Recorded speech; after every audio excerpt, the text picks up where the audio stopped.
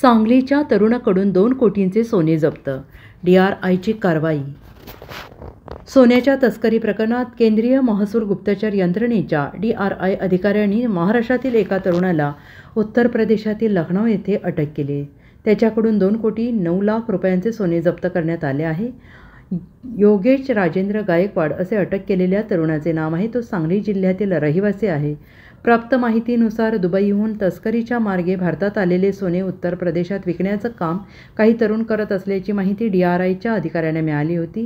हे सोने घेऊन एक तरुण वाराणसी येथून लखनौला रस्तेमार्गे जात असल्याची माहिती मिळाल्यानंतर डी आर आयच्या अधिकाऱ्यांनी सापळा रचला. या रस्त्यावर सुलतानपूर येथे जाणाऱ्या वाहनांची तपासणी दरम्यान अधिकाऱ्यांनी हा तरुण सोन्यासह आढळून आला. अधिकाऱ्यांनी त्याला या सोन्याबद्दलच्या कागदपत्रांची विचारणा केली. मात्र कोणतीही कागदपत्रे तो सादर करू शकला नाही त्यामुळे त्याला अटक करण्यात आली आहे. Bureau report S B N Marathi Sangli.